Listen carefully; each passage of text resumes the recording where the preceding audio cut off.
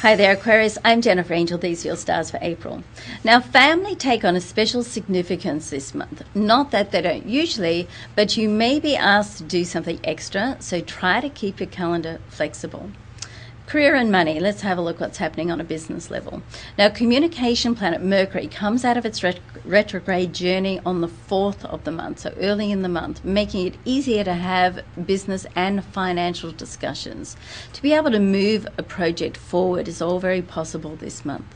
On the 11th, transformational planet Pluto, situated in your area of dreams and wishes, also goes retrograde, just let's say out of phase. So take extra care to pay attention to your intense feelings rather than ignore them.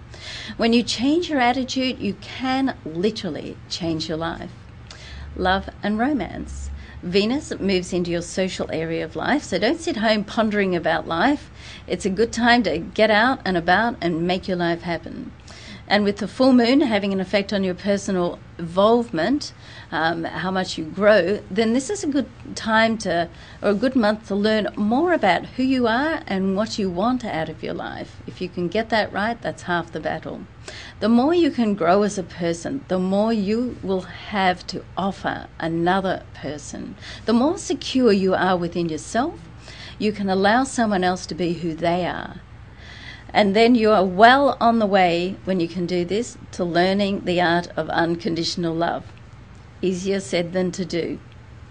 Now, your lucky numbers are 4, 9, 11, and 14, and your defining day, April the 9th. A connection between the Sun and Uranus make it possible to achieve headway on a creative project now.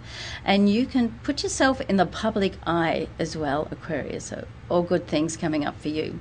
I'm Jennifer Angel. Thanks for watching. Hope you have a fabulous month.